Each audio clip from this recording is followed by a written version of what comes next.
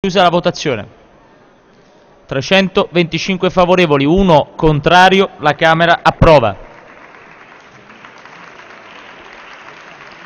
Sono così conclusi gli argomenti iscritti all'ordine del giorno.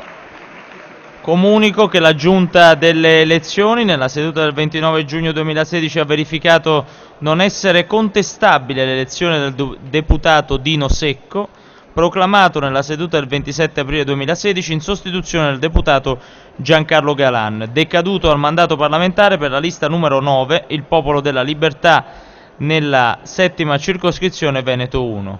Concorrendo nell'eletto le qualità richieste dalla legge, la Giunta ha deliberato di proporne la convalida. Do atto alla Giunta di questa proposta e dichiaro convalidata la suddetta elezione.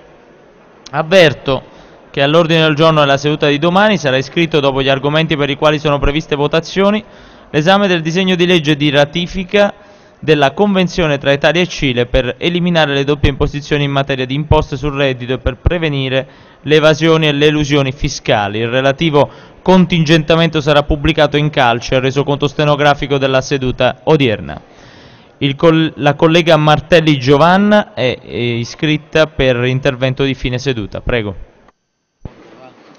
Grazie, signor Presidente.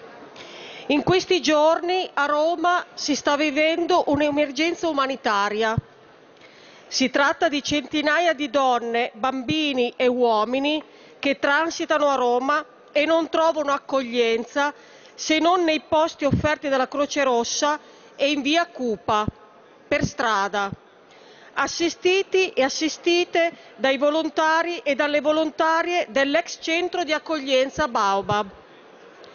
Quanto sta accadendo è una vergogna per la città di Roma.